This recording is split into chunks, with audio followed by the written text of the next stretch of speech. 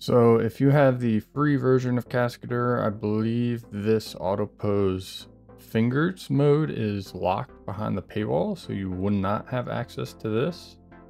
This is kind of cool because you can like control most of the hand with just the index finger. So it kind of has some helpful auto posing there. Uh, but if you have the free version, then I believe you're limited to pretty much using the box controller mode. And then you can select the box controllers for your fingers and animate them that way. And I find this tool to be useful.